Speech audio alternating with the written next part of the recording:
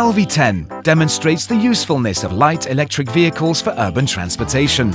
Our EU-funded Horizon 2020 project aims to boost the usage of all categories of light EVs. We demonstrated our solutions in six cities across Europe.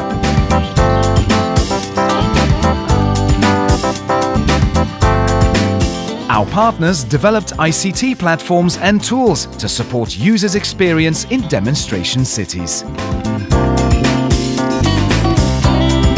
We analyzed trips and user data to make recommendations and provide business models.